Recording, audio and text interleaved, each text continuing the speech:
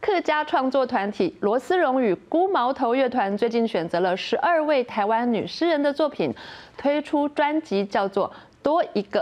主要的创作者罗思荣说：“每一个人来到世界上，每一首诗的创作出来，每一首歌的谱写完成，都是多一个的概念。他希望透过这张专辑，看到女性的美，看到女性如何拥抱这个世界。”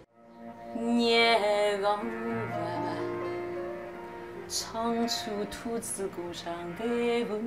柔。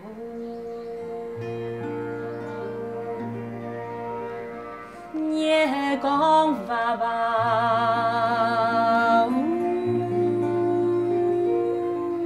金曲奖得主罗思荣跟孤毛头乐团，经过四年的沉淀与淬炼，推出最新专辑《多一个》，将台湾十二位女诗人的作品谱写成歌。诗人红红称赞专辑不仅是音乐的盛宴，也是台湾文学的珍宝。这张专辑基本上，我渴望能够辐射出来的它的一个意义，不只是就是因为是台湾女性诗人，然后又不同世代、不同族群、不同语言，那这是台湾很特别的一个地方，也就是我们是这么多元的一种融合共生的一个国家。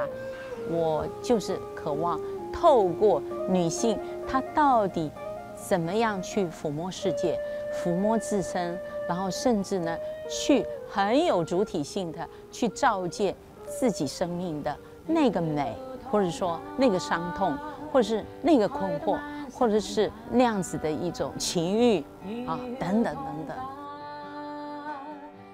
罗思荣向来包办整张专辑的词曲创作，这次选了横跨不同世代的女诗人，包括杜潘方格、张芳慈、陈玉红、尹丽等人，在不同地域跟语言上，悠游于女性如何去观察土地、族群、科技等议题。我自己作为一位女性，所以我也很渴望可以透过这一次的这个专辑，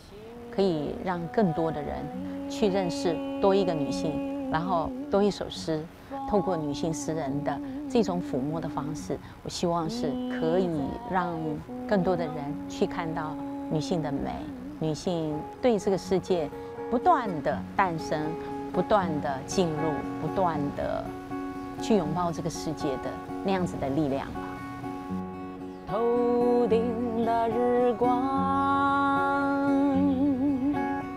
闪闪闪闪哦。抓一把沙，丢掷。现代诗虽然有既定的文本与节奏，但要改编其实有难度。罗思荣说，他必须要跟女诗人们交换子宫，交换灵魂。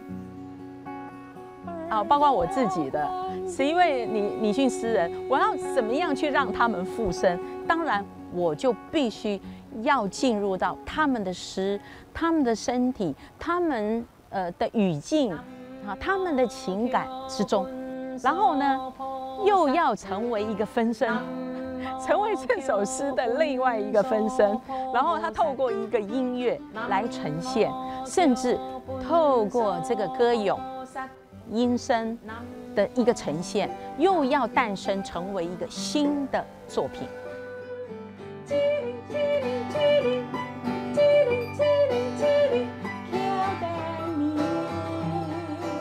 今年孤毛头乐团还增加了一个新成员，他是金曲奖制作人、大提琴家陈祖慧。罗思荣笑着说：“对他们乐团来说，这也是另一种形式的多一个。”他觉得这些歌诗，他就觉得有一种说不出来的一种力量。还有那种音乐的独特的质地啊，是他做音乐这几十年下来，他觉得是让他非常呃感受非常深刻的这样子的作品。